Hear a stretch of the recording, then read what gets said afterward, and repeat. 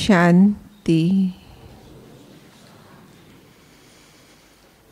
बेहद के रूहानी नशे में रहने वाले खुश नसीब आत्मा, आदरणीय राजयोगी भ्राता डॉक्टर सचिन भाई जी, हम सबके बीच में हैं। हम एक हाथ हिलाते हुए आपका स्वागत करते हैं, सत्कार करते हैं। अभिनंदन करते हैं। वर्ष 2003 में आप बाबा के बच्चे बने, रूहानी बच्चे। डायमंड हॉल में आपका अलौकिक जन्म हुआ और उसके बाद आप बाबा के ज्ञान की गहराई में उतरना आरंभ कर दिया। उससे पहले वर्ष 2002 में आपने एमबीबीएस पास किया और फिर ज्ञान मिला और उसके बाद लौकिक, अलौकिक दोनों स्टडीज़ में आगे बढ़ते रहे। एमडी किया, काफ़ी फेलोशिप प्रोग्राम्स किए डिप्लोमास किए, कई सारे मेडिकल फ़ील्ड के कोर्सेज किए और इतना ही नहीं बॉम्बे में जो हमारा B S E S hospital है, वहाँ जॉब भी की और जो फ़ेमस हिंदुजा हॉस्पिटल है, वहाँ पर भी काम किया और फिर सारे अनुभवों को इकट्ठा करके आप 10 10 10 को, अर्थात 10 अक्टूबर 2010 को माउंट आबू में आकर ग्लोबल हॉस्पिटल को ज्वाइन किया। वर्तमान में वहाँ आप head of the department of medicine हैं कंसल्टेंट फिजिशियन हैं और इंटेंसिविस्ट हैं। और यहाँ बाबा के घर में मधुबन के पुरुषार्थी ग्रुप के साथ बैठकर बाबा के ज्ञान पर मनन चिंतन करते हैं, जिसका लाभ सर्व को मिलता है। तो आज हम सबका सौभाग्य है। जिनकी क्लासेस को आप टेक्नोलॉजी के माध्यम से सुनते हैं, आज रूबरू बैठकर सुनेंगे। और आज का बहुत सुंदर विषय है, शुभस्य शीघ्रम। तो सुनते हैं भ्राता जी से, आदरणीय भ्राता जी। ओम शांति। किसी सुनसान रेगिस्तान में, जहाँ पर दूर दूर तक कोई मनुष्य, कोई जानवर दिखाई नहीं देता था। ऐसे एक वीरान रेगिस्तान में एक व्यक्ति भटक गया। तेज धूप थी। प्यास बहुत ज़्यादा उसे लग गई। परंतु कहीं पर भी पानी नहीं था।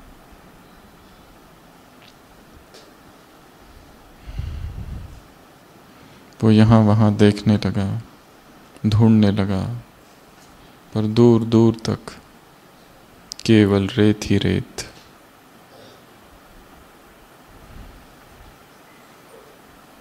और तपते सूरज की गर्मी।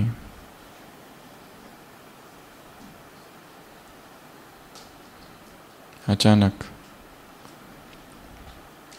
चलते चलते उसे एक हैंड पंप दिखाई देता है। वो भाग कर वहाँ जाता है, परंतु उसमें पानी नहीं होता है, परंतु वहाँ एक चिट्ठी टंगी होती है। वो उस चिट्ठी को निकालता है और पढ़ता है। उसमें लिखा होता है कि यदि तुम चाहते हो कि तुम्हें पानी मिले तो एक काम करना पड़ेगा। सामने जो सफ़ेद पत्थर है उस पत्थर के नीचे एक पानी की बोतल है, वो ले लो। परंतु उसे पीना मत। उस पानी की बोतल को इस हैंडपंप में डालो, उस पानी को। उसके बाद यह हैंडपंप चालू हो जाएगा और उसके बाद तुम्हें जितना पानी चाहिए, तुम पी लेना। पर याद रखना, वो जो बॉटल है जो सफ़ेद पत्थर के नीचे है, उसमें से मत पीना। उसका पानी इस हैंडपंप में डाल देना।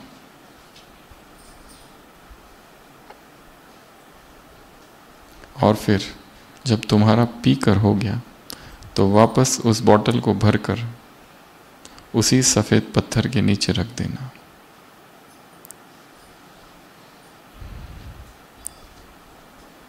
और उसमें लिखा होता है। तारीख लगभग 20 वर्ष पूर्व की।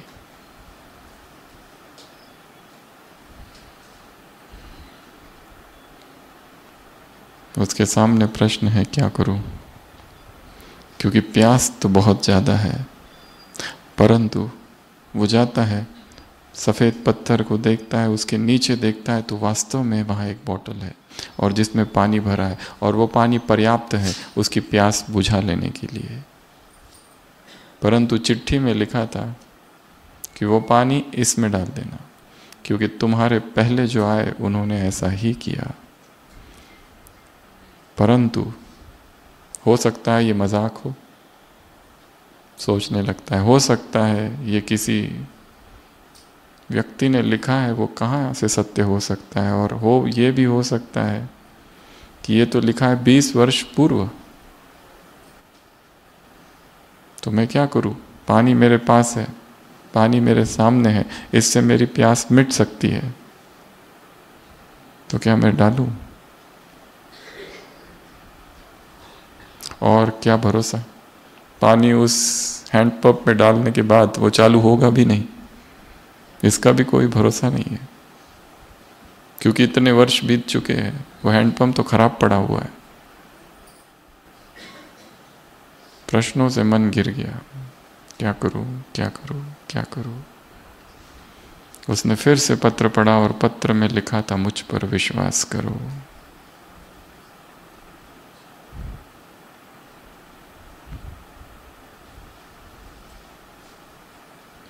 कपते हुए हाथ से वो बोतल लेता है। वो सोचता है, पी लूँ। परंतु फिर उसी पत्र को देखता है। क्योंकि मेरे पहले भी कई आए और उन्होंने ऐसा ही किया, पिया नहीं। पर वो है कहाँ पता नहीं। पानी पीऊँ या पानी उसमें डालूं? सोचता है। और कप कपाते हाथों से ही वो पानी उस हैंडपंप में डाल देता है। और फिर पानी आ जाता है और वो पीता है। और बॉटल भर देता है और फिर उसी पत्थर के नीचे रख कर आगे निकल जाता है। ये यात्रा आध्यात्मिक राही की यात्रा है। कई इस मार्ग से निकल चुके हैं। उन्होंने पाया। परंतु भविष्य अज्ञात है। द फ्यूचर इज़ अननोन पानी पी लू या डालू? आगे बढ़ू? क्या करूँ? परंतु हाँ एक विश्वास है। अज्ञात में छलांग ही समर्पण है। जंप इनटू द अननोन सारे भयों के साथ। कूद जाना। बस एक विश्वास है। एक निश्चय है। एक फेथ है कि मार्ग यही है। और कोई मार्ग है ही नहीं। परंतु दिखाई कुछ भी नहीं दे रहा है। अंधेरा सा है। परंतु पता है, यही सत्य है। और कई मेरे पहले इसी मार्ग पर चले हैं। दादियों को कोई खबर नहीं थी आगे क्या होने वाला है। कुछ भी पता नहीं था। परंतु कूद गए। इसी को सरेंडर कहा जाता है। नो बैकअप नो सिक्योरिटी कोई सुरक्षा नहीं। उस व्यक्ति को कुछ भी नहीं पता था। उसने देखा भी नहीं था उन लोगों को, जो लोग उस रेगिस्तान से गुजरे उसके पहले। परंतु उसे विश्वास हो गया उन शब्दों पर, उन वाक्यों पर।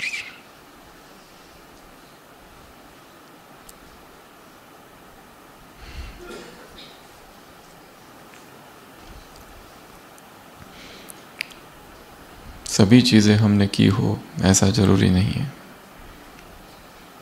और जीवन में हमें वो सारी चीज़ें करनी होगी जो हमने कभी भी नहीं की।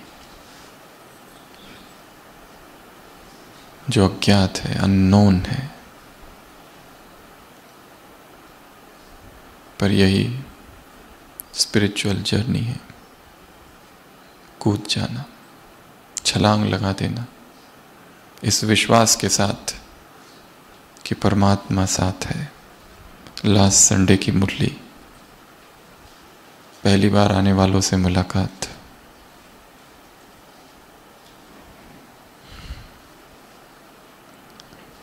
बाप का वरदानी हाथ सिर पर है। यही सबसे बड़ी क्या है? सिक्योरिटी और कोई मनुष्य साथ नहीं, और कोई व्यक्ति साथी नहीं सपोर्ट नहीं, आधार नहीं।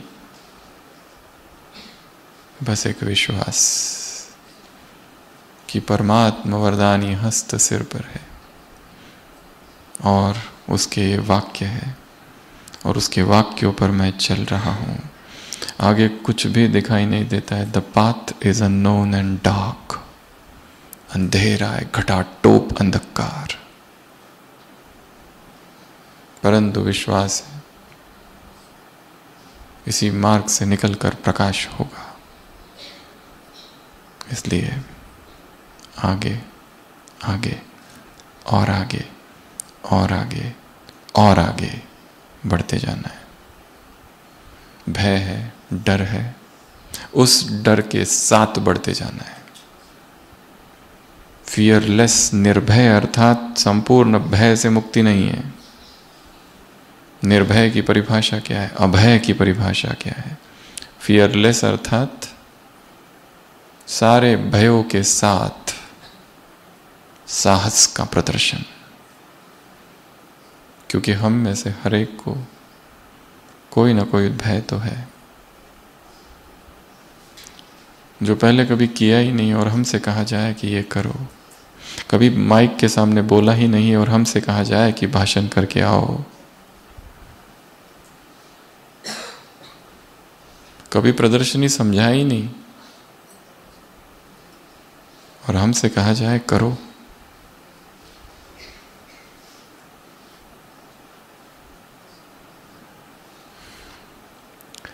कोई भी संपूर्ण बनकर परम धाम से उतरा नहीं है। जिसने जो सीखा है, वो कैसे सीखा है? हिम्मत से, मेहनत से, अभ्यास से। रसरी आवत जाते हैं, सिल पर परत निशान।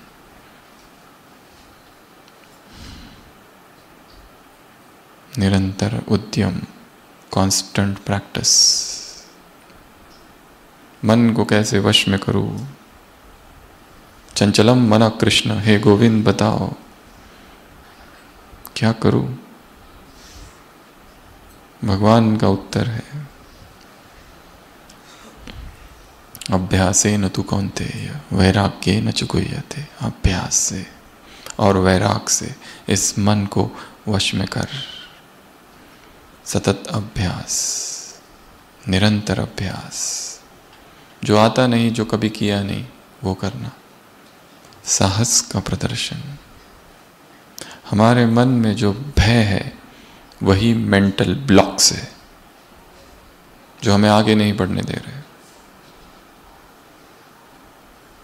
सभी भट्टी में आए हैं और भट्टी का लक्ष्य रखेंगे। जो मन में ब्लॉकेजेस है, उनको खत्म करना। अंतर्मन में गांठे बांधी हुई है। उन गांठों को खोलना। और गांठों को कैसे खोला जाता है? जिस विधि से गांठ बांधी थी, बस उसी विधि से उसे खोलना है। क्यों किसी व्यक्ति के प्रति इतना गहरा द्वेष है? क्यों किसी के प्रति इतनी गहरी आसक्ति है? क्यों किसी के प्रति काम का भाव है? क्यों अब तक ब्रह्मचर्य स्थिर नहीं हो रहा है? क्यों मन में हलचल है? क्यों योग में बैठते ही दस मिनट, पंद्रह मिनट और आधे घंटे के बाद ही उठना पड़ता है? कौन उठाता है योग से? हमारी बेचैनी हमें उठाता है, उठाती है। और कोई नहीं। कोई काम करना नहीं है। फिर भी थोड़ी देर बैठने के बाद उठने की इच्छा होती है। क्यों? चित्त बेचैन है, हलचल है। क्योंकि अचेतन, अवचेतन मन में भीतर बहुत सी गांठे है। तो यहाँ आए हैं और यहाँ आने का लक्ष्य केवल और केवल क्लासेस सुनना, मुरली सुनना चार धाम की यात्रा करना नहीं है। बहुत गहरा है, बहुत डीप जो हर भट्टी से हम कहते हैं, तीन नियम सब कर ही रहे होंगे, पालन। फिर भी जो नहीं कर रहे, वो चालू करो। पहला, मोबाइल स्विच ऑफ़। बंद।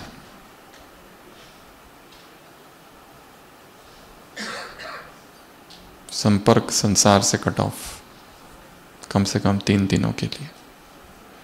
क्योंकि बहुत डीप और गहरा ऑपरेशन करना है। बहुत गहरी साधना है और जो गंभीर साधक है साधक के रूप में रहना है तीन दिनों के लिए। भूल जाओ मैं कौन हूँ उधर? बाप हूँ बा, भाई हूँ बहन हूँ माँ हूँ टीचर हूँ। सारे प्रोफेशन सब उपाधियों को एक तरफ़ और यहाँ छोटा सा बच्चा बन जाओ तीन दिनों के लिए। जिसे कुछ भी पता नहीं है। अभी अभी जन्म लिया है नवजात शिशु। हर चीज़ को आश्चर्य की भांति जो देखता है। ओहो, क्या है ये? क्यूरियोसिटी है इनक्विजिटिवनेस सीखना है उसको। जो सेवाएँ की है, सब एक तरफ़। जो धारणाएँ हैं, जो कुछ है, सारा ज्ञान एक तरफ़। और एक अज्ञात शिशु जैसा। कि मुझे भी सीखना है। फ़र्स्ट रूल सेकंड रूल आपस में बातचीत बंद। मौन जितना बोलते रहेंगे बाह्य मुक्ता रहेगी। और तपस्या बातचीत करते हुए नहीं हो सकती। तीसरा, इस कैंपस के अंदर ही रहना है। लॉकडाउन स्पिरिचुअल क्वारंटीन जन जन के रोगी है।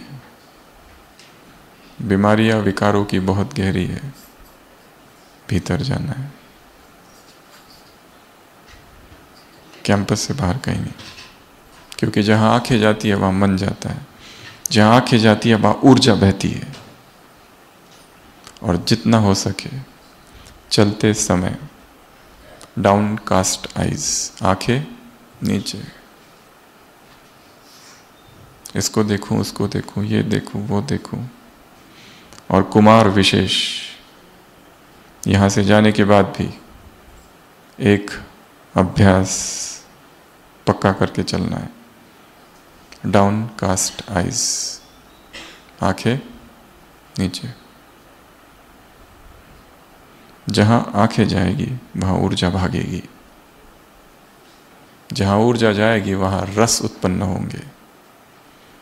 और बाह्य रसों की तरफ़ आकर्षण होगा तो शरीर में जो रस है, वो शरीर से बाहर निकलेगा। ब्रह्मचर्य अर्थात कॉन्जर्वेशन ऑफ़ एनर्जी सारे रसों को भीतर ही रोक लेना।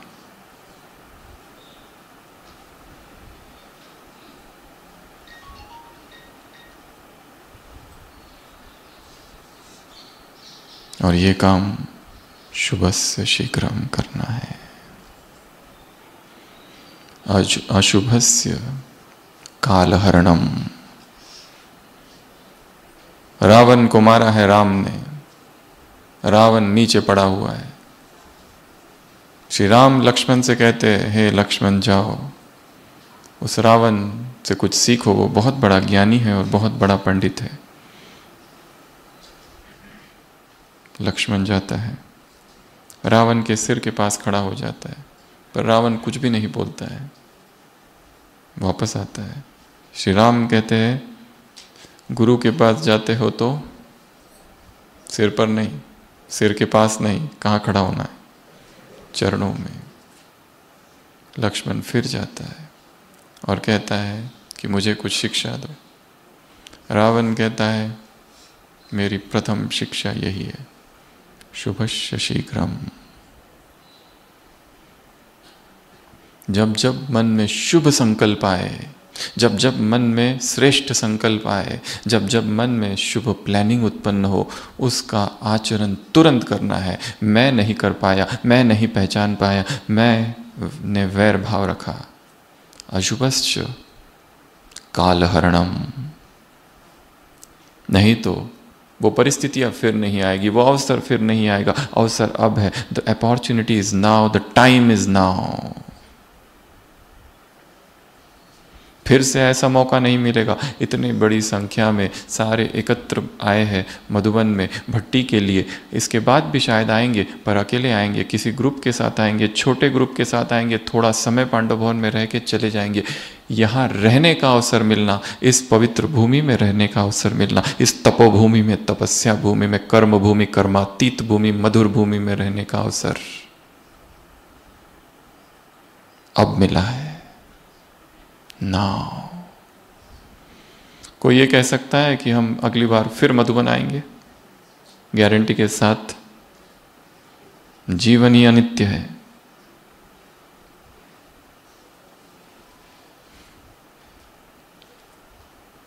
युधिष्ठिर से भिखारी भीख मांगने आता है। युधिष्ठिर कहता है, आज नहीं, कल आओ, मैं थक गया हूँ टाइम हो गया है।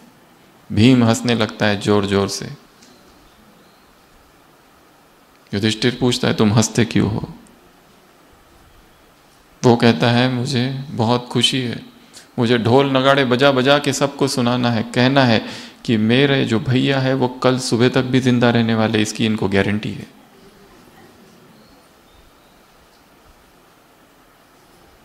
एक पल का भरोसा नहीं है यहाँ पर। एक पल का भरोसा नहीं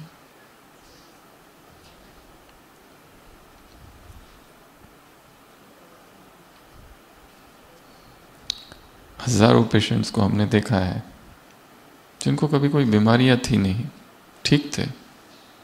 मिलके गए, घर गए, सो गए, उठे ही नहीं। कितनी बार ऐसा हुआ है।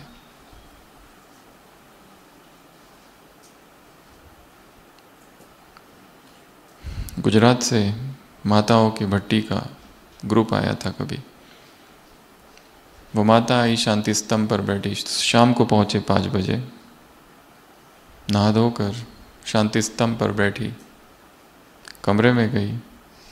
अचानक से बेहोशी, हॉस्पिटल आने तक ब्रॉड डेड जा चुकी थी। शांति स्तंभ पर ही, वहीं पर, जैसे उसने शरीर छोड़ दिया। आसपास ही वहीं।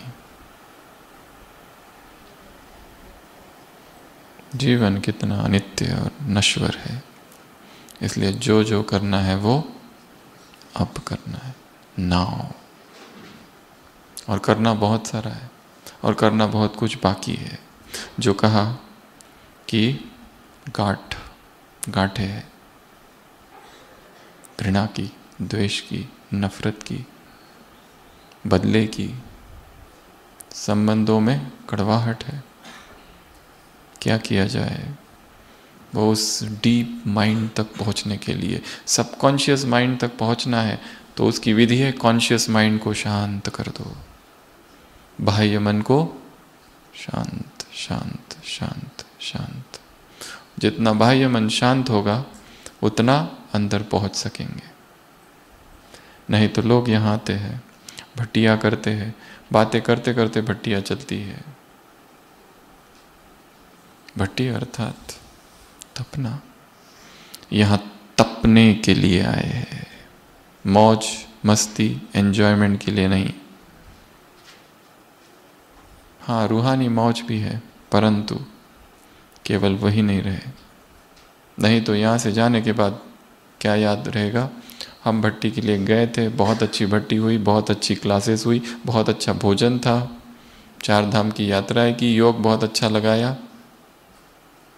और और कुछ नहीं, वापस आ गए। संस्कार जो था, जैसा था, वैसे के वैसे ही है। ऊपर ऊपर थोड़ी बहुत सफ़ाई की है विकारों की। थोड़ी बहुत किसी क्लास में एक हाथ कोई गहरी पॉइंट मिल गई। उस पॉइंट ने जो मन में एक हाथ छोटी सी गांठ थी, वो खुल गई। पर यहाँ से जाने के बाद इस भट्टी का असर दस दिन, पंद्रह दिन, एक मास बाद में जो थे। और एक मास के बाद कोई पूछे, कैसी थी भट्टी तो क्या कहेंगे? बहुत अच्छी। क्या पाया? कुछ नहीं।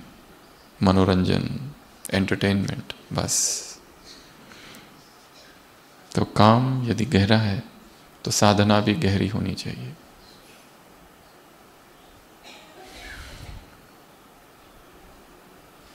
जितना गहरा मौन होगा, उतनी गहरी तपस्या होगी।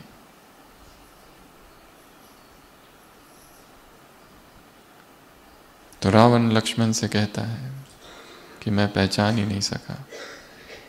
लेट हो गया। आई एम लेट यही मेरी शिक्षा है तुमको। तो अगले एक दो दिनों में इस भट्टी में इसकी लिस्ट निकालो कि मुझे क्या करना था और जो मैंने अब तक किया नहीं।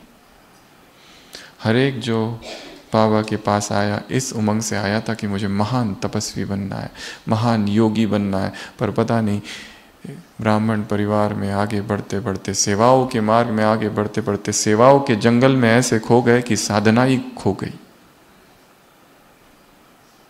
अब केवल सेवा है which is the fourth subject first subject second subject third subject ये रह गया। और कहाँ तक रह गया? अमृत वेला उठना, बाबा को गुड मॉर्निंग करना और थोड़ा सा कुछ बोलना, मुरली क्लास में जाना और थोड़े बहुत पॉइंट्स लिखना। डायरी क्लोज किचन में सेवा गेस्ट का कोर्स हॉस्पिटैलिटी यहाँ वहाँ प्रवचन भाषण घर के काम जॉब दैट्स इट चेंजेस तो कुछ भी नहीं आए पुरुषार्थ की एक ही परिभाषा है तीव्र पुरुषार्थ अर्थात परिवर्तन।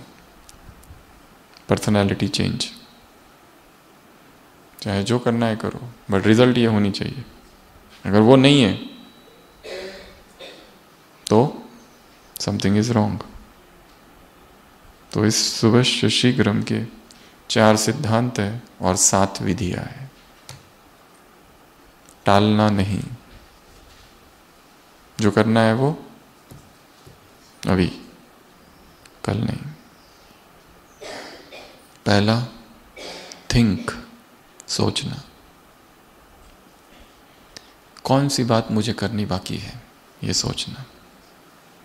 जो की नहीं है, वो करना है। अमृत वेला। ठीक नहीं हो रहा है, क्यों नहीं हो रहा है? थिंक पहले तो टॉपिक चूज़ करो। कौन सी बातें करनी बाकी है? कोई कला है, कोई स्किल है, कोई धारणा है। ब्रह्मचर्य सब कुछ कर लिया, परंतु फिर भी बार बार टूटते रहता है। दो दिन पहले साकार मुरली थी।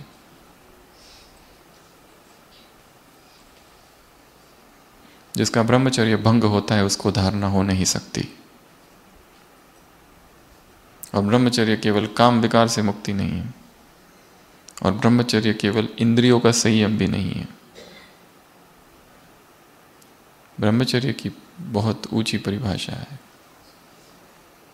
समता प्यूरिटी अर्थात इक्वैनिमिटी जीवन की हर परिस्थिति में समान स्थिर रहना अर्थात प्यूरिटी कोई अपमान करे, कोई सम्मान करे, स्थिर। बहुत स्तुति हो कुछ भी ना हो। लोग रिकॉग्नाइज ही नहीं करें हमारी सेवाओं को। हमने इतना सारा सेवा की और लोग ये कहे कि तुम कुछ भी नहीं करते। फिर कैसे नॉन रिकॉग्निशन हम सब कुछ करें और उसके बाद भी आरोप लगाए कि तुम आलसी हो। फिर चेहरा चेंज हो जाता है। जब कलंक लगते हैं, तब क्रोध आता है। अर्थात समता है ही नहीं। सित प्रज्ञ योगी अर्थात स्थिर।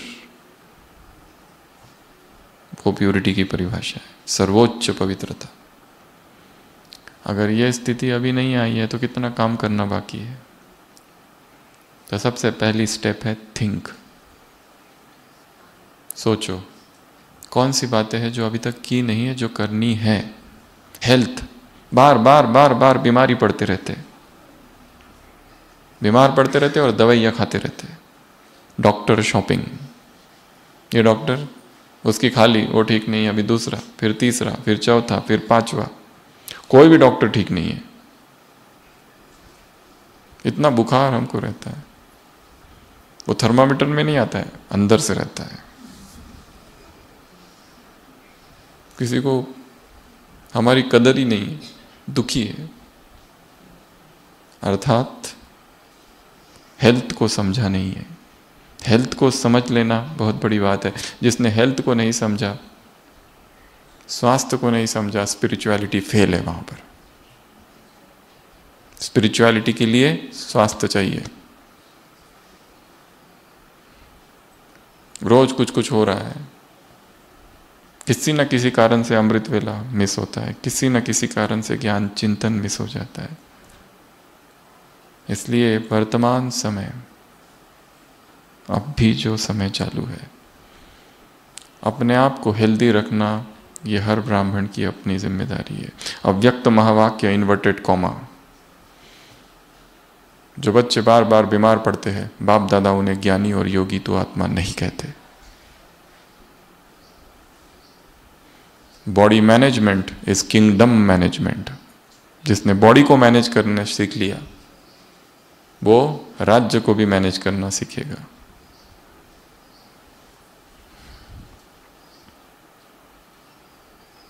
जिसने भोजन, भूख, प्यास भूख, प्यास और निद्रा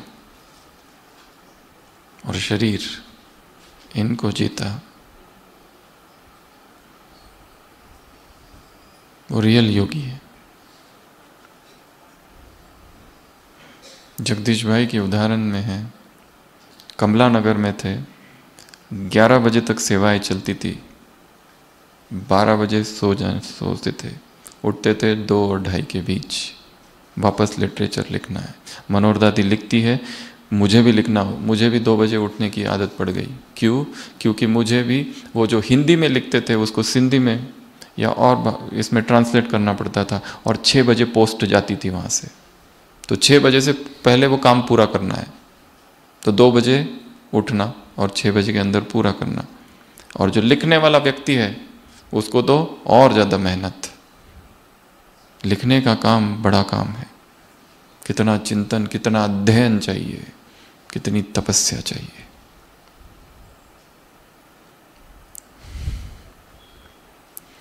और किसी धर्म का लिटरेचर नहीं लिखा जा रहा था। हज़ारों वर्षों के बाद परमात्मा धरती पर आया और उसने जो ज्ञान दिया, उसका ज्ञान लिखा जा रहा था।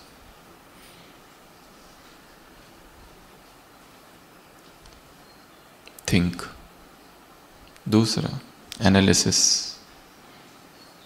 कैसे चालू करूँ? किसी को गाड़ी सीखनी है। केवल ये सोचने से नहीं होगा कि मैं गाड़ी चला रहा हूँ, मैं देख रहा हूँ, मैं गाड़ी चला रहा हूँ फोर व्हीलर काम करना पड़ेगा। ग्रास रूट लेवल पर उतर कर योजना बनानी पड़ेगी, कैसे मैं सीखूं? किसी को टाइप सीख, सीखना है टाइपिंग किसी को कंप्यूटर सीखना है, कुछ भी।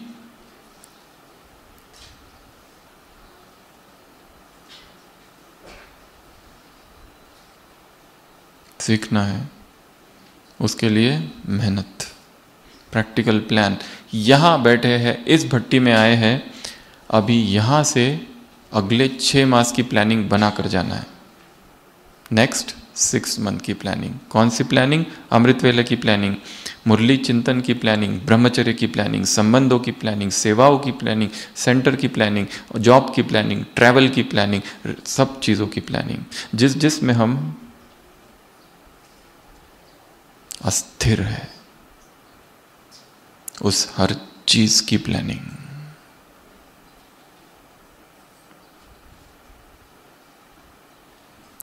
तो पहला थिंक दूसरा एनालाइज तीसरा स्टार्ट डूइंग करना। और कब करना? अभी, शुभ शीघ्रम शीघ्राति शीघ्र अभी के अभी, अर्जेंट। अर्जेंट काम है ये। इससे ज़्यादा अर्जेंट और कुछ भी नहीं है। बाकी सब एक तरफ़ कर दो। बहुत टाइम वेस्ट कर लिया। किसी ने एक किताब लिखी है, जिसमें उसने लिखा है, गरीबों की सात ऐसी आदतें जो उन्हें अमीर नहीं बनने देती। गरीबों की ऐसी सात आदतें जो उन्हें अमीर नहीं बनने देती। मनी, पैसों के हिसाब से। और पहली आदत है स्पोर्ट्स। खेलना बहुत अच्छी बात है, देखते रहना टाइम वेस्ट जो खेल रहे हैं, उनको पैसे मिल रहे हैं, तुमको क्या मिल रहा है? एक्साइटमेंट क्रिकेट देखते देखते शरीर छोड़ दोगे। अंतमति सो गति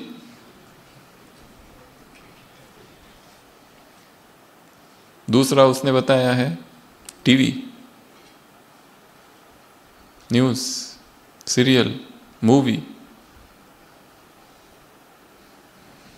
ये सब में अमीर लोग टाइम वेस्ट नहीं करते। पैसे कमाए हैं। मेहनत है पैसे कमाने में। पर गरीब व्यक्ति सोचता है इनके भाग्य में ही पैसे है। उनकी मेहनत नहीं देखते।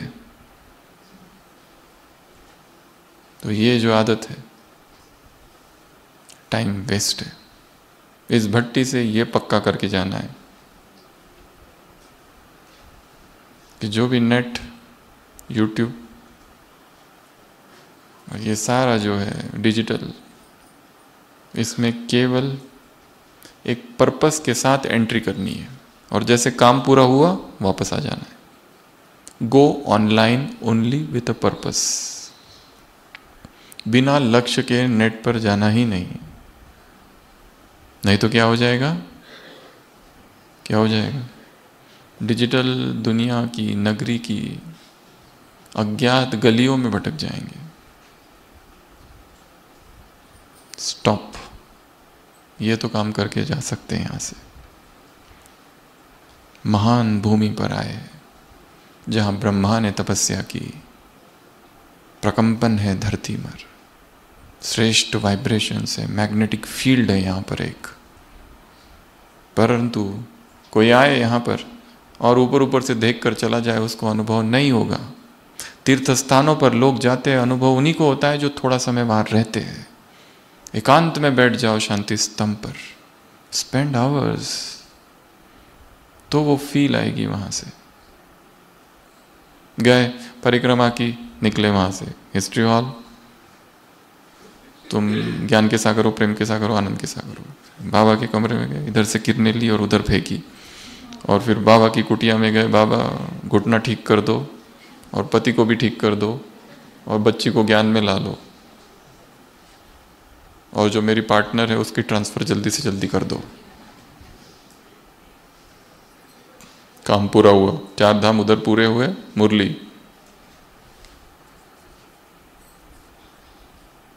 मीठे बच्चे। प्रश्न। उत्तर, गीत, डायरी बंद, बाजू में। और फिर, नींद, भयंकर नींद। महाभयंकर नींद। और फिर एकदम मीठे मीठे, फिर से जागरण, और फिर से डायरी, और फिर धारणा के लिए मुख्य सार, एक, दो वरदान स्लोगन, डायरी बंद। बाय, कल मिलेंगे। सीढ़िया, चप्पल पहनते पहनते महावाक्य गया, सीढ़िया उतरते उतरते प्रश्न उत्तर गया। घर पहुँचते पहुँचते धारणा के लिए सार गया, भोज, नाश्ता बनाते बनाते वरदान गया, नाश्ता खाते खाते स्लोगन गया। शाम होते होते पूरी मुरली गई और शाम को पूछता है, कोई मुरली कैसी थी? बहुत अच्छी थी। टू गुड क्या थी? वो मत पूछो बस। अगर ये दिनचर्या है तो उन्नति नहीं होगी। क्रांति चाहिए, क्रांति। चेंज ट्रांसफॉर्मेशन शॉक चाहिए। दस लोग आकर हमारी तारीफ़ करते हैं, कोई फ़ायदा? कोई परिवर्तन? कोई कहते, तुम बहुत अच्छे योगी हो योगी हो, तपस्वी हो, चिंतन तुम्हारा बहुत अच्छा है। क्लास वाह वाह वाह। कोई उन्नति? नहीं, और कोई आकर कह दे, तुम जो बोलते हो पर करते तो कुछ और ही हो। योगी तो लगते ही नहीं किसी भी एंगल से। अब क्या होता है? दुख अंतर्मुक्ता स्वतः अपने आप तब परिवर्तन आता है। तो परिवर्तन के लिए क्या चाहिए? शॉक चाहिए। थिंक सोचो किसमें परिवर्तन लाना है। एनालाइज कैसे लाऊं, विधि क्या हो सकती है। तीसरा स्टार्ट और चौथा कंप्लीट उसको कंप्लीट करना। जो संकल्प ले लिया, अब रुकना ही नहीं। जब तक वो कंप्लीट ना हो जाए, सोच लिया है कि मुझे ये सीखना है। फॉर एग्ज़ाम्पल भाषा।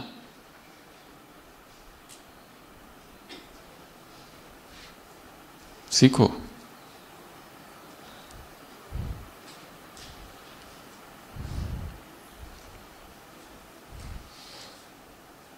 वो सीख लेंगे, क्योंकि जब तक भाषा नहीं सीखी जाएगी, उस भाषा का जो लिटरेचर है, उसको उतनी गहराई से नहीं समझी जाएगी। मुरली हिंदी में पढ़ना और फिर मुरली ट्रांसलेटेड उसको क्या कहेंगे? एक है तवा टू माउथ, और दूसरा रखी हुई रोटी। एक भाषा से जब दूसरी भाषा में चीज़ ट्रांसलेट की जाती है तो वो वैसे है जैसे एक इत्र की बोतल है, उसको उस इत्र की बोतल से दूसरी बोतल में डालना है। आधा उड़ गया। तो जो मज़ा भगवान की भाषा में, उसी भाषा में उसको समझना है। तो ये भी एक संकल्प करके जाना है within next six months master language चाहे इंग्लिश चाहे हिंदी कोई भी, जो आप चाहते हैं कि मुझे आनी चाहिए, जिससे सेवाएँ हो सकती है। कब तक ये कहते रहेंगे कि हम यहाँ के रहने वाले नहीं, हम वहाँ के रहने वाले। इसलिए हम नहीं जानते। हम साउथ के हैं, इसलिए हिंदी नहीं जानते। और साउथ वाले अभी साउथ में रह रहे हैं हिंदी साइडर परंतु अभी तक नहीं सीखे हैं। भारत से लोग विदेश चले जाते हैं। दस साल से रह रहे हैं। परंतु क्या करते हैं वहाँ पर? उसी ग्रुप को ढूंढ लेते हैं। गुजराती गुजरातियों को ढूंढ लेते हैं। अब इंग्लिश की झंझट खत्म। अब इन्हीं से काम चलाओ। क्यों? सीखो। नए ट्रैक क्रिएट होते हैं ब्रेन पर। काम देना है कंफर्ट जोन से बाहर निकलना है। क्योंकि सीखने के बाद सेवाओं का क्षेत्र अपने आप बढ़ जाता है। अपने आप। तो लर्न न्यू थिंग्स तो ये चार बातें थिंक एनालाइज तीसरा स्टार्ट एंड कंप्लीट और आज का काम आज ही करना है, उसको कल पर नहीं टालना है। उसके लिए ऐसी सात बातें हम देखेंगे। सबसे पहला काम मुझे अभी के अभी चालू करना है। ये संकल्प और दृढ़ संकल्प करके जाना है। लोग तीर्थ स्थान पर जाते हैं क्या सं, वहाँ जाकर संकल्प करते और संसार में सबसे बड़ा तीर्थ स्थान कौन सा है? मधुबन। तो यहाँ आए हैं तो यहाँ आकर क्या करके जाना है? एक पावरफुल थॉट क्रिएट करके जाना है। क्यों संबंधों में कड़वाहट है? अब मुझे ये जो कड़वाहट है, इसको ठीक करना ही है। हस्बैंड वाइफ युगलों में, दोनों ज्ञान में है, परंतु द्वंद्व है। दो आत्माएँ, दोनों ज्ञानी है, पर दोनों में द्वंद्व है। क्यों है? उस गांठ को खोलना है, वहाँ तक पहुँचना है। और जैसे हर भट्टी में हम कहते हैं कि आपका ये जो भट्टी है, ये एक तैयारी मात्र है। रियल भट्टी कब चालू होगी? यहाँ से घर पर पहुँचने के बाद। कब पहुँच रहे कब पहुँच रहे घर पर कब पहुँच रहे हम्म? नौ तारीख को, ठीक है? तो रियल भट्टी चालू होगी दस तारीख से। ये सार्वजनिक है, वो व्यक्तिगत होगी। ये प्रत्यक्ष है, वो गुप्त होगी। यहाँ पर स्पीकर्स अलग अलग है, वहाँ तुम खुद ही स्पीकर होगे। टॉपिक यहाँ अलग अलग है। वहाँ एक या अलग अलग और वो कौन सा टॉपिक होगा? खुद डिसाइड करना है। या फिर अमृत वेले बाबा से लेना है वो टॉपिक। और वो टॉपिक दिया जाएगा। टाइम है सुबह दो से पाँच के बीच। इस बीच सोना नहीं है। उधर बहुत सो लिया। जल्दी सो जाओ। जैसे सब हो जाता है, सो जाओ। Mobile switch off. ना कुछ पढ़ना, ना कुछ करना। बाबा के कमरे में गुड नाइट, कमरे में गए, सो जाओ। ताकि डेढ़ दो बजे के बीच आँख खुल जाए। मधुबन के उस दो बजे के सन्नाटे में तपस्या होती है। गहन सन्नाटा। ऐसा जो आवाज़ होता है ना उसमें तपस्या की जाती है कोई जहाँ नहीं है वहाँ पर उस मौन में और उस एकांत में और उस पिन ड्रॉप साइलेंस में निस्तब्धता में एक नया रियलाइजेशन होगा। जहाँ मन एकदम शांत है, वहाँ वो टॉपिक अवतरित होगा कि यहाँ से जाने के बाद क्या करना है अभी? रियल भट्टी चालू होगी। कौन सी तारीख से? दस तारीख से। कितने दिन की? इक्कीस दिन। उसकी तैयारी अभी यहाँ से करनी है। ट्वेंटी वन डेज़ की भट्टी की तैयारी। और वो ट्वेंटी वन डेज़ गिन गिन के एक एक दिन का चार्ट रखना है। रात को सोने से पहले एक डायरी, कल सुबह यहाँ से डायरी ले लो। ट्वेंटी वन डे, दस तारीख, दस अप्रैल। क्या किया? अमृत वेले कितने बजे उठे? किन किन से मिले? मौन कितना रहा? एकांत कितना रहा? ब्रह्मचर्य कितना अखंड रहा? किसी को शरीर तो नहीं देखा या किसी के शरीर ने आकर्षित तो नहीं किया या किसी से द्वंद्व तो नहीं हो गया? जो कुछ हुआ, वो लिखो उसमें। संकल्प ही करके जाना है। जिसने संकल्प ही कर लिया, मुझे दो बजे से एक मिनट आगे उठना ही नहीं। दो बजे मतलब दो बजे। कोई नहीं रोक सकता उसको। हमारे रोकने वाले हमारे अंदर बैठे हुए हैं। सारे शत्रु इधर है। सारे रावण इधर है। बाहर के रावण तो कुछ भी नहीं है।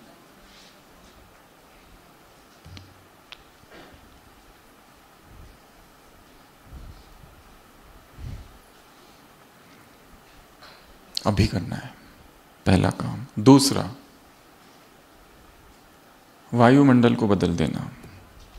यहाँ से कल सुबह अमृत वेला, जहाँ आप रहते हैं, वो घर, वो सेवा केंद्र, वो ऑफ़िस, उसको आँखों से विजुलाइज करना है। देखना है कहाँ क्या चेंजेस करने हैं। बाबा का कमरा है या नहीं है? है, नहीं है तो कैसे बनाऊँ? कहाँ ट्रांसलाइट हो, कहाँ ना हो? कहाँ बैठूं और कैसे बैठूं? उस स्थान को परिवर्तन करना है। थोड़ी चीज़ों को बदल दो इधर उधर। वही वही नहीं। बेड इस तरह से तो उसको घुमाओ, उस तरफ़ कर दो। मेक चेंजेस झाड़ लाओ थोड़े, झाड़ों को, झाड़ को रखो। प्लांट्स हवादार बना दो कमरे को। चेंज कर्टन्स चेंज वॉल सब कुछ बदलो उसको। क्योंकि हमें नया करना है। जैसे किसी को कोई किताब लिखनी है तो क्या करता है वो? पहले एक विजुलाइज करता है, मुझे एक टेबल चाहिए, मुझे एक कुर्सी चाहिए, मुझे एक पेन चाहिए अच्छा पेन चाहिए डायरी चाहिए पेपर्स चाहिए, सारी तैयारी चाहिए, तब जाके चालू करता है। कोई पेंटर है, उसको एक तुलिका चाहिए, उसको पेंट्स चाहिए, पूर्व तैयारी। तपस्या के लिए भी तैयारी चाहिए, अमृत वेले के लिए भी तैयारी चाहिए, भोजन करना है, कहाँ बैठकर भोजन करूँ? ताकि भोजन मौन में कर सकूँ, एकांत में कर सकूँ, उसकी तैयारी। टाइमिंग को बदलो टाइमिंग को चेंज करो। जहाँ भीड़ भाड़ है, उससे दूर। Make changes the second point change environment office है। सारी चीज़ें इधर उधर बिखरी पड़ी है, कुछ दिखती नहीं है टाइम पर। उसको बदलो थोड़ा सा। किचन उसमें क्या चेंजेस कर सकते हैं? अमृत वेला देखो उस किचन को। एक एक बर्तन को सकाश दो। घर की एक एक दीवार को सकाश दो। रोज जिस रास्ते से जाते उस रास्ते को उस, उस ट्रैफ़िक को सकाश।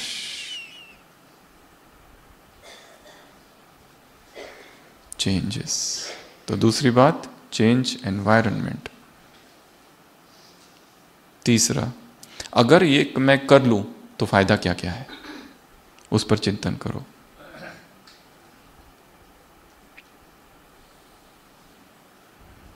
अगर हिंदी सीखनी है किसी को तो लक्ष्य रखो हिंदी में ही बात करेंगे और बाबा से केवल हिंदी में बात करेंगे।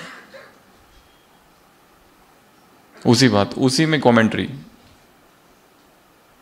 कब तक शिव बाबा आती है और क्यों शिव बाबा जाती है बोलते रहेंगे। ब्रह्मा नहीं बोलती, शिव बाबा बोलती है।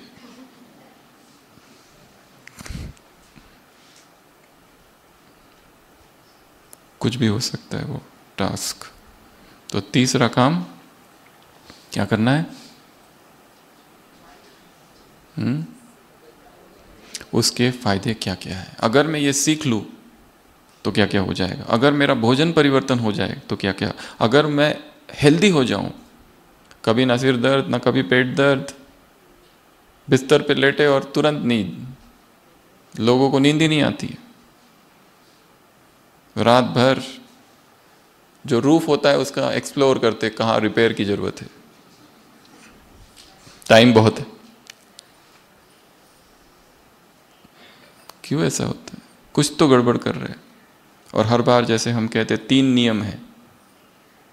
सरकार के नियम, तोड़ा तो क्या होता है? तुरंत फाइन ट्रैफ़िक रूल तोड़ो, क्या होता है?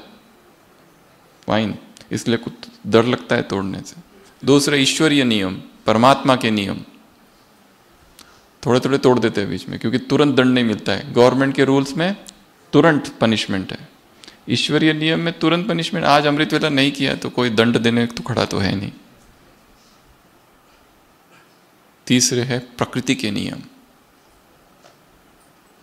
और वो तो दंड बहुत आराम से मिलता है। कई कई सालों बाद। नेचर्स फ़र्स्ट लॉ और प्रकृति का एक ही नियम है। जो प्रकृति ने दिया है, उसको वैसे ही स्वीकार करना। जिसने इस नियम को तोड़ा, चाहे वो किसी भी संस्था का, किसी भी धर्म का, कोई भी अध्यात्मवादी हो, धार्मिक व्यक्ति हो, साइंटिस्ट हो, कोई भी हो, उसको बीमारी घेरेगी।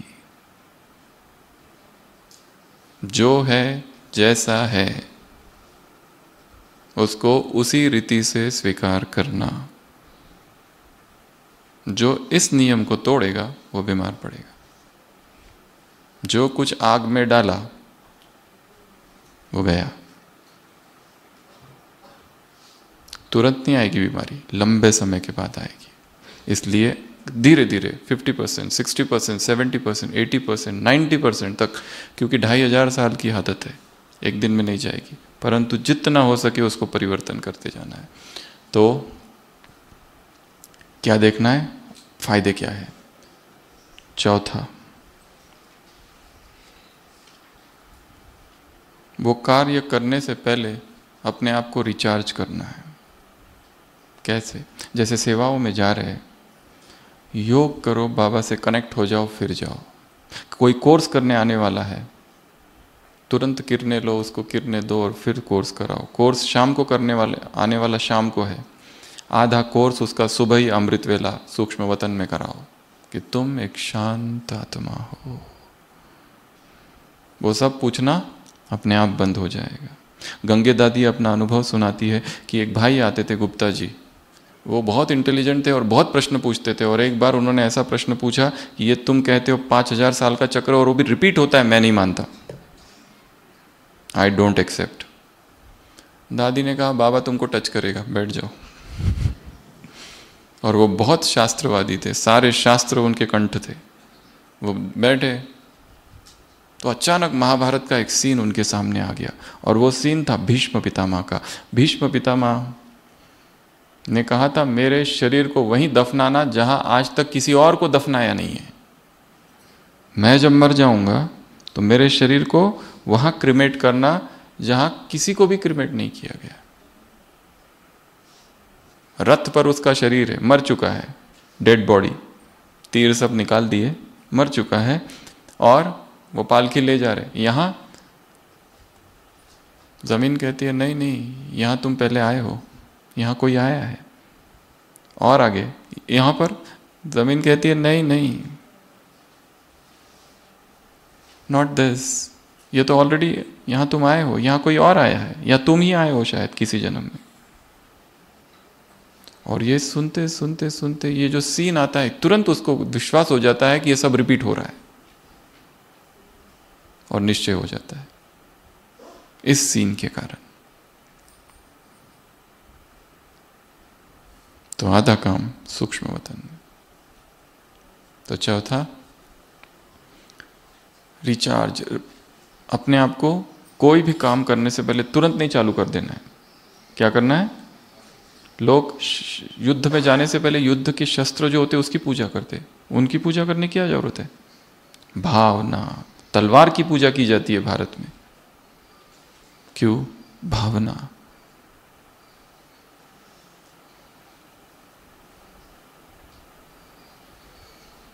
इसलिए कहा, एक सकाश जो है, वो है, जहाँ पर प्रोग्राम करना है, उस मंगल कार्यालय को, उस मंडप को, उस भूमि को, उस स्थान को सुबह सुबह क्या करना है? सकाश देनी है। शाम को कहीं प्रोग्राम होने वाला है, public.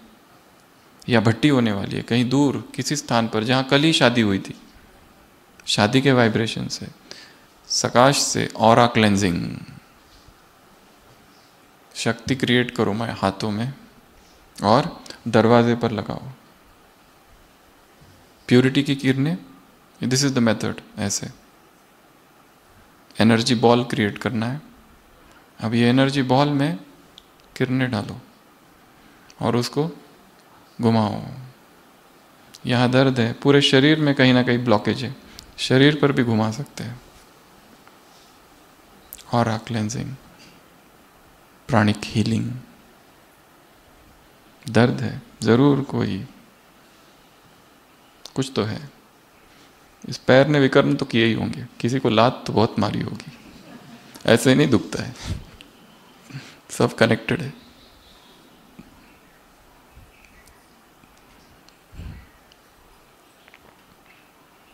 Fifth note down plan writing में चाहिए। उसके सिवा नहीं होता है। ब्लैक एंड वाइट मेरा प्लान है लर्निंग लैंग्वेज मेरा प्लान है लर्निंग रीडिंग बुक्स यज्ञ की सारी किताबें पढ़ के हो गई। टोटल एक हज़ार वन थाउज़ेंड सिक्सटी एट अव्यक्तवाणियाँ हैं। सिक्सटी नाइन से लेके तो टू थाउज़ेंड सेवेंटी सारी पढ़ के हो गई। हो गई क्या? किसकी हुई? शायद ही कोई होगा। सारी अव्यक्तवाणी और केवल पढ़ना नहीं, अध्ययन। रोज एक अव्यक्तवाणी पढ़ना, इसका टारगेट ऐसे नए नए टारगेट नोट डाउन यहाँ से जाने के बाद मुझे क्या करना है? यहाँ आना व्यर्थ ना जाए। इतने दूर से आए हैं।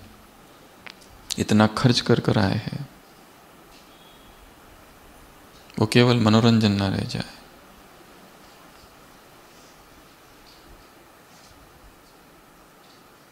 सिक्स्थ रिमूव डिस्ट्रैक्शंस जितनी बाधाएँ हैं, सबको हटा दो इस मार्ग पर। यदि कोई किताब पढ़ रहे हो, उतने समय के लिए मोबाइल को ऑफ़ कर दो। कोई डिस्टरबेंस ना हो। इतनी एकाग्रता से पढ़ो उसको।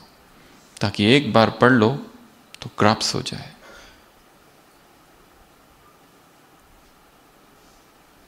बुद्धि को तीक्ष्ण बनाना है, शार्प इंटेलेक्ट।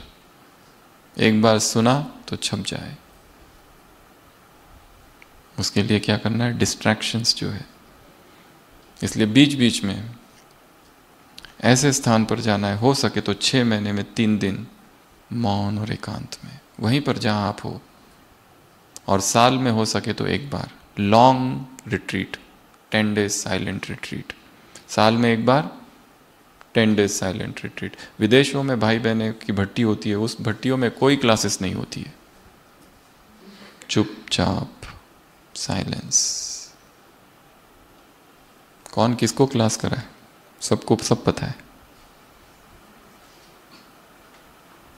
केवल मौन।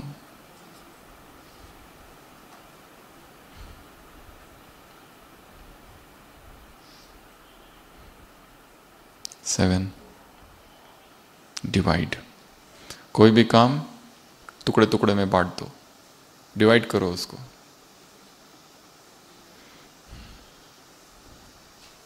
एक धक से सब नहीं होता है। अपने आप को टाइम दो। पहले तीन दिन ये करूँगा, फिर तीन दिन ये करूँगा, या एक ही दिन को डिवाइड करो। टाइम बॉक्सिंग टाइम बफरिंग और लास्ट एक और ऐड कर सकते हैं। डेडलाइन सेट करनी है। ये काम मुझे कितने दिन में करना है? तीन दिन में पूरा करना है। तो ही अर्जेंसी आती है। अगर कह दिया किसी को अच्छा ठीक है, तुमको ये सीखना है, कितना दिन में? कोई लिमिट नहीं है, कभी नहीं सीखेंगे। सीखता कब है व्यक्ति? डेडलाइन सेट कर दो। जैसे उस दिन भी हमने एक उदाहरण अपना ही बताया था। एक बार दादी जानकी से मिलने जाना था। कुछ हो गया था, ऐसे ही जो रूटीन हेल्थ विज़िट तो हमने सुबह एक संकल्प कर लिया कि बाबा ने दादी के लिए जो कुछ भी कहा है, वो मुझे जाने से पहले पढ़कर जाना है। और वो किताब जो थी, छोटी सी एक किताब थी, राजू भाई की लिखी हुई कंपाइल की हुई, वो मिल ही नहीं रही सुबह। और फिर ओपीडी का टाइम चालू हो गया और फिर वो टाइम चला गया। पेशेंट्स पेशेंट्स पेशेंट्स दोपहर में वो मिली।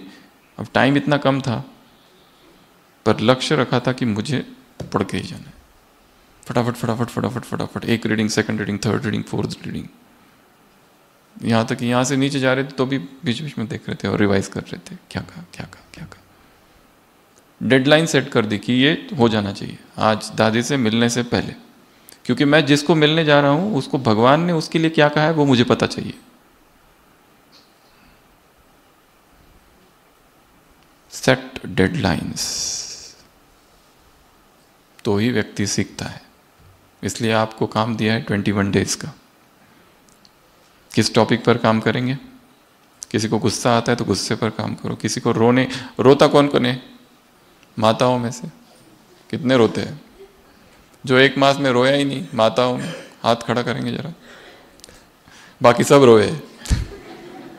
या समझ नहीं आया हमने क्या कहा। रोना प्रूफ कल की वरदान था ना, कल ही? फीलिंग फीलिंग पर काम करना है। अचल अडोल स्थिति पर काम करना अपना टॉपिक खुद डिसाइड करना है। और तीन दिन है। टाइम है सुबह दो से पाँच बजे तक। पाँच बजे क्लोज भक्तों की लाइन चालू। और उससे भी ज़्यादा टाइम दो और साढ़े तीन। साढ़े तीन बजे ब्राह्मणों की लाइन चालू। उसके पहले। टू टू थ्री थर्टी ये समय है तपस्या का। सोने का नहीं। हे नींद को जीतने वाले योगी हो हे निद्रा जीत आत्मा हो परंतु ज़बरदस्ती नहीं करना है। धीरे धीरे धीरे धीरे धीरे धीरे। और यहाँ पर तो जल्दी सो जाओ।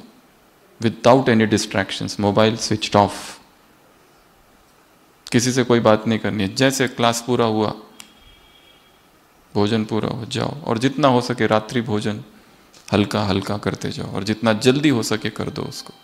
यहाँ से जाने के बाद भी। यह भी एक पुरुषार्थ है। जितना लेट भोजन, उतनी नींद नहीं खुलेगी। जैन धर्म में सूर्यास्त के बाद कुछ नहीं खाते। उधर सूर्य डूब गया, इधर मुख बंद। लॉक।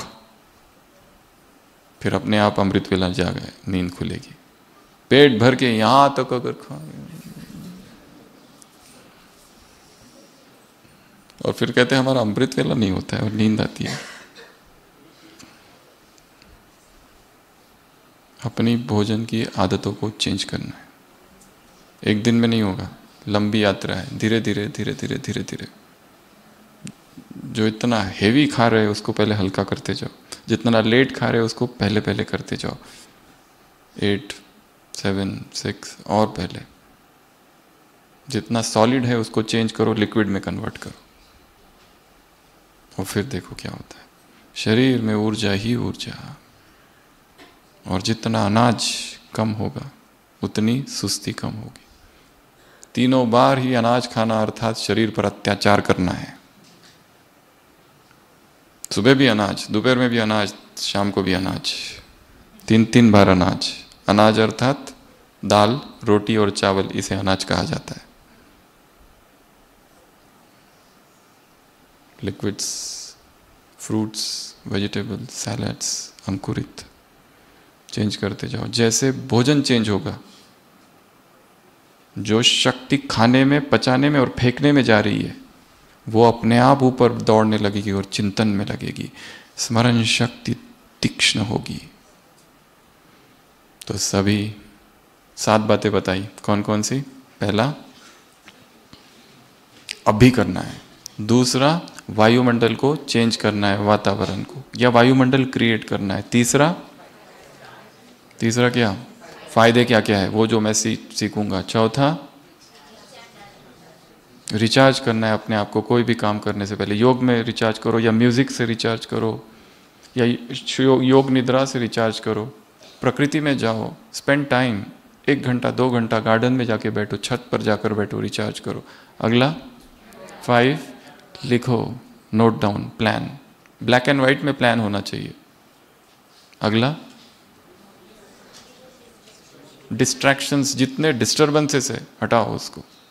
और लास्ट डिवाइड और एक जो एक्स्ट्रा बताया डेडलाइन सेट कर दो। शुभश्य शीघ्रम।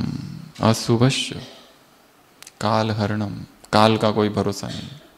और जो समय अभी है, वो फिर नहीं आएगा। जो फैसिलिटीज़ जो साधन अभी उपलब्ध है, वो फिर नहीं रहेंगे। ये शरीर भी कहाँ रहेगा? शरीर बूढ़ा होते जा रहा है हर दिन। हैप्पी बर्थडे हैप्पी बर्थडे अर्थात काल के मुख में।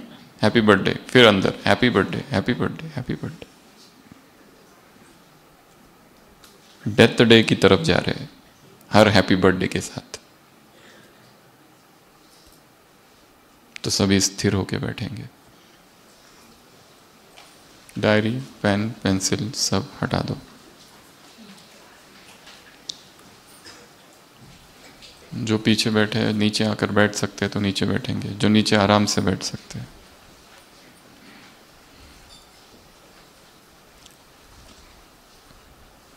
तो अगले 20 मिनट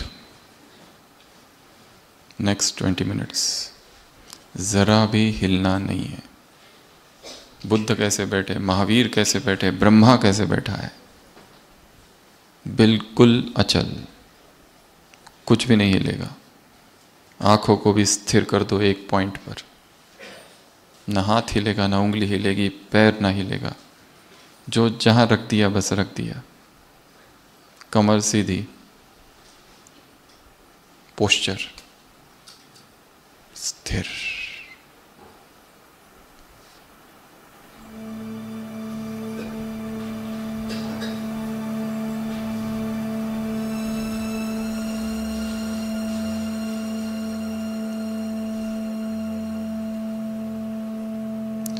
संपूर्ण शरीर शांत और शिथिल।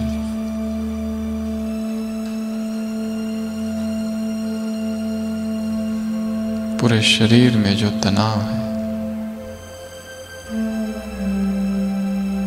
साक्षी होकर एक बार उस तनाव को देखना है।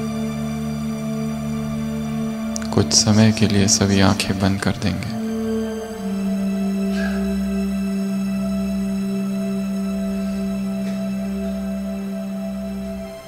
अपने संपूर्ण शरीर का निरीक्षण करना है।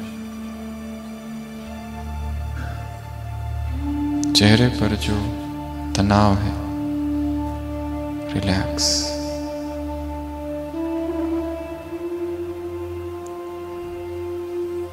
गर्दन राइट शोल्डर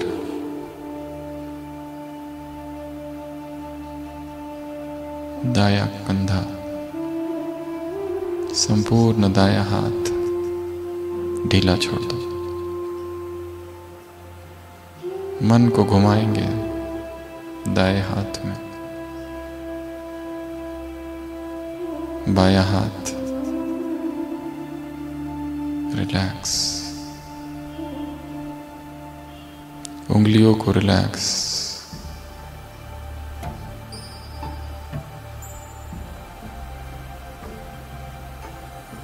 छाती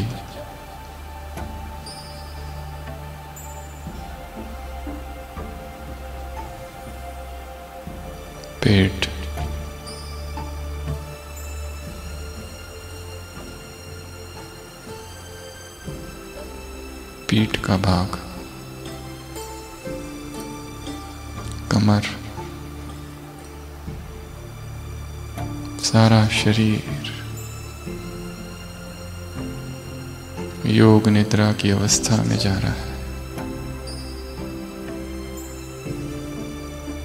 दाया पैर। दाया घुटना। दाया ठकना, दाई एड़ी, दाएँ पैर की उंगलियाँ, संपूर्ण दाया पैर। शिथिल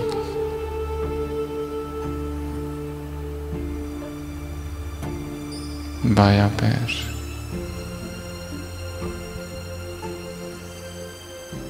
ऊपर से नीचे तक। शिथिल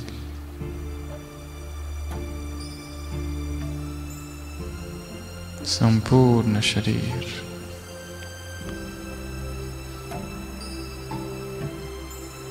पूर्ण विश्राम की अवस्था में।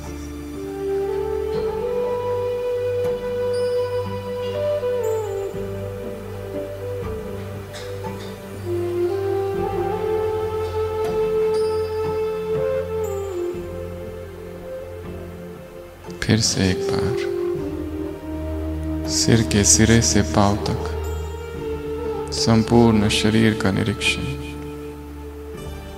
चेहरा,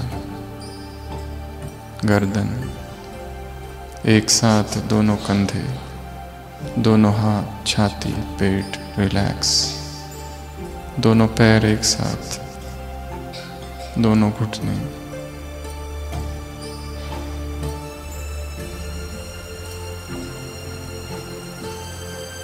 मन भी शांत।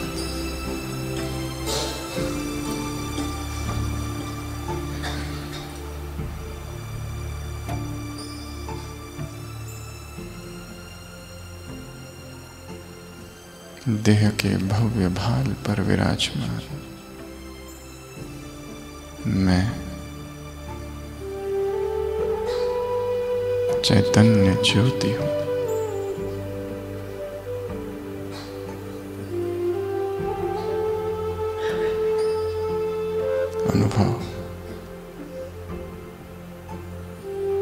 ये शरीर अलग है, मैं अलग हूँ।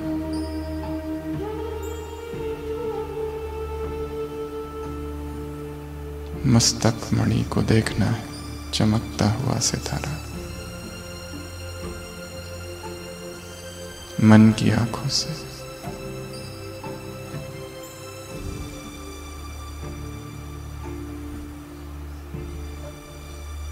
मैं आत्मा इस शरीर से बाहर उड़कर जा रही हूँ। संसार से परे, आकाश से परे, सभी तत्वों से पार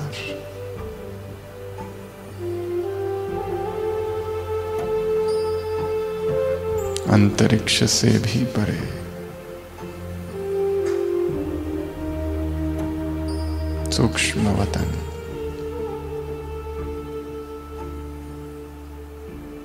अव्यक्त बाप दादा सम्मुख है। सभी आँखें खोलकर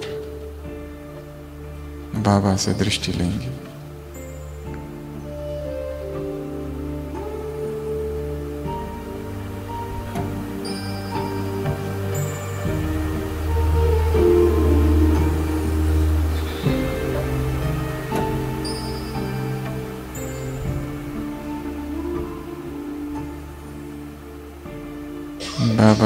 नैनों से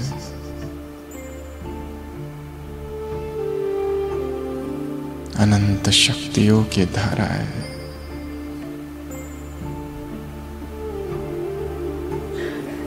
मुझे आत्मा पर पड़ रही बाप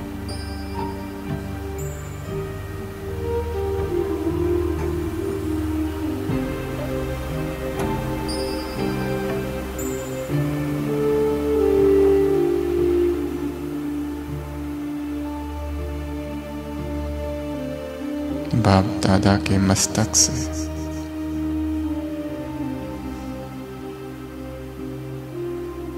पवित्रता की किरणें मुझ पर।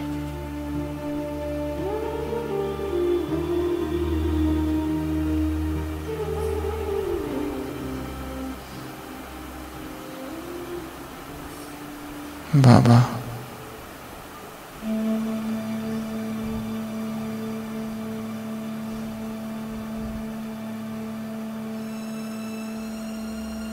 परमात्मा प्रेम का अनुभव।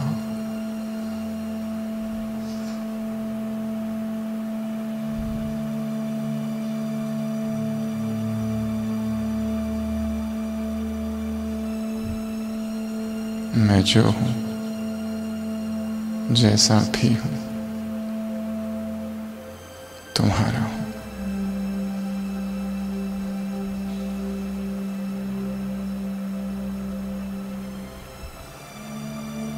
संपूर्ण समर्पण भाव में स्थित।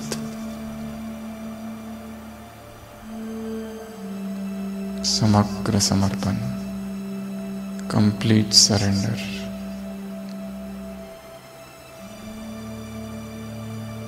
बाबा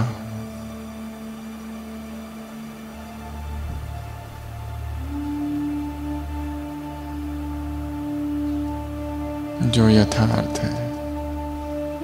जो श्रेष्ठ है, जो योग्य है,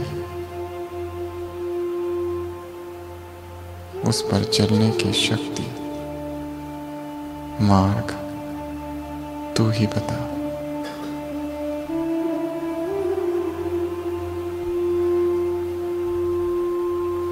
तन, मन, धन, बुद्धि, संस्कार, संबंध कुछ तुम्हारा।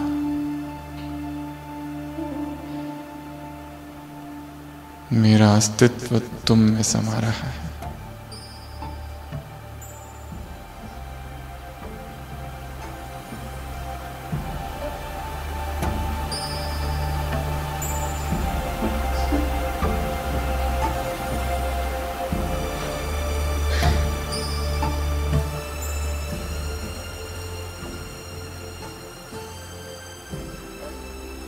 बाप दादा का वरदानी हस्त सिर पर है विजयी बाबा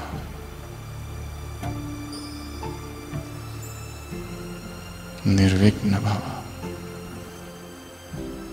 सफलता मूर्त बाबा यहाँ से जाने के बाद जो व्यक्तिगत भट्टी चालू होने वाली है मेरी, इक्कीस दिन की उसके लिए बाबा सफलता का वरदान दे रहे हैं। सफलता मूर्त भाव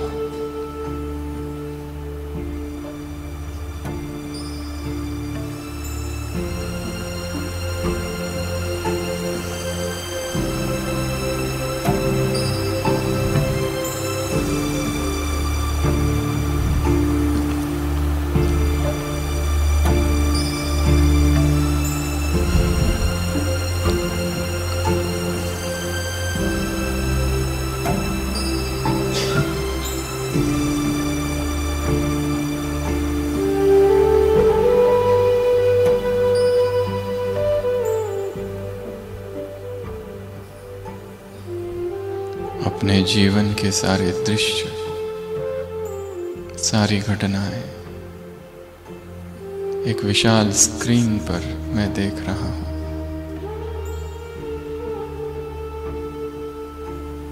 बचपन ज्ञान में कैसे आए? ज्ञान का जीवन, मधुबन की पहली यात्रा ईश्वरीय अनुभव। जीवन में आए हुए विघ्न, बीमारियाँ, कड़वाहट, विकारों से हार तो दूसरी ओर सेवाओं की सफलता, प्रभु प्रेम, सब कुछ।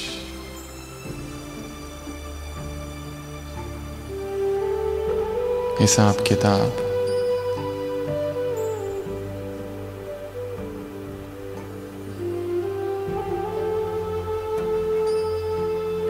अभी बहुत धीरे से बिना आवाज़ किए,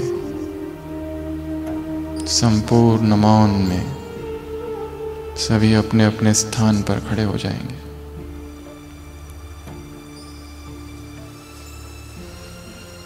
बिना आवाज़ किए दृष्टि एक बाप दादा पर टिकी हुई। स्थिर,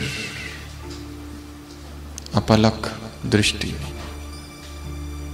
बाप दादा के नैनों से शक्तियों की किरणें मुझ पर आ रही है। एक पल के लिए नज़र को नहीं हटाना।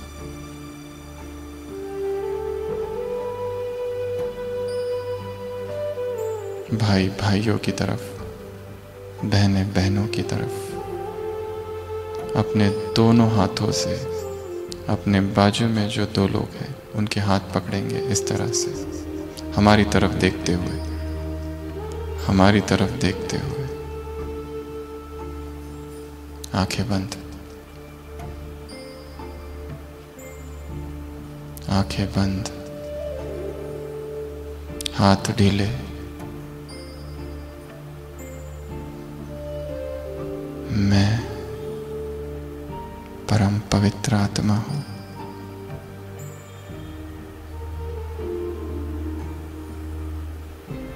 मेरे अंग अंग में पवित्रता है।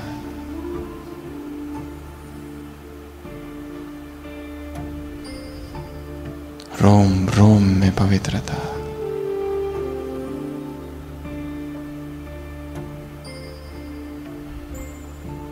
मेरे दोनों हाथों से। पवित्र किरणें इन दो आत्माओं को जा रही है। इन दो आत्माओं की पवित्र किरणें मुझमें आ रही है। संपूर्ण शरीर में पवित्रता की करंट।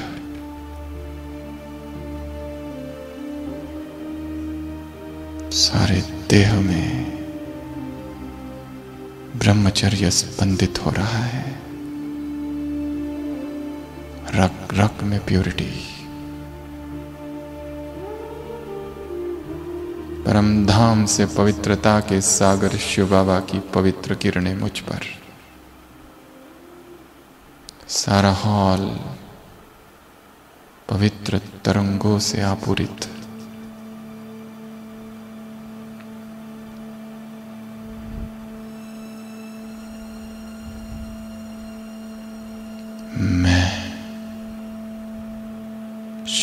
की अर्धांगिनी हूँ। मैं शिव की शक्ति हूँ। मैं महिषासुर वर्दिनी। महा दुर्गा हूँ, काली हूँ। सरस्वती हूँ। भक्त मंदिरों में जिसको पुकार रहे हैं हे जगन माता हे जगदम्बा, वो शिव की शिवा मैं हूँ।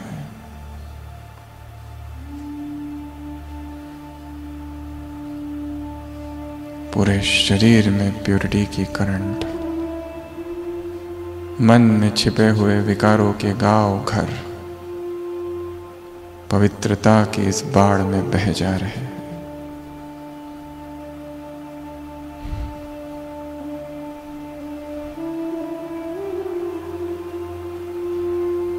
और शरीरी मौन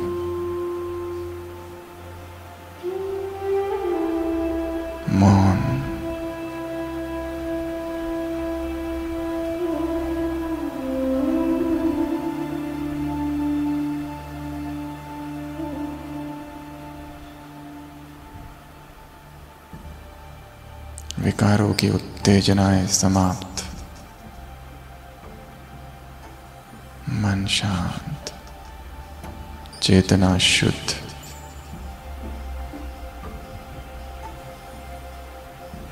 बाबा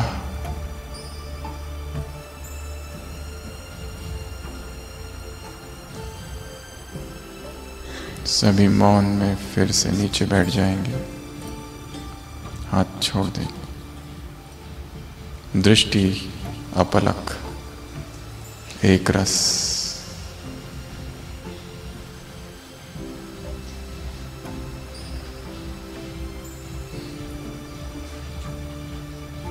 शुभ शीघ्रम परिवर्तन के संकल्प का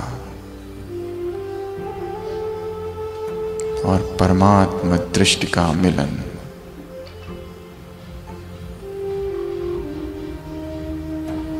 दृष्टि सतत लेते रहेंगे।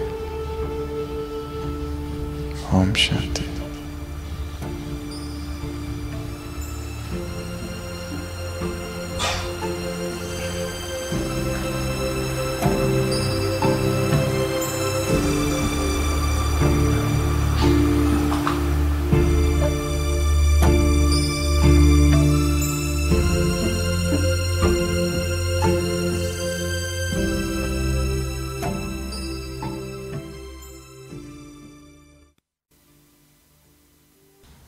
दुनिया में कहते हैं, नेक काम में देरी क्यों? अर्थात ही, कोई काम नेक है, शुभ है तो बहुत शीघ्रते शीघ्र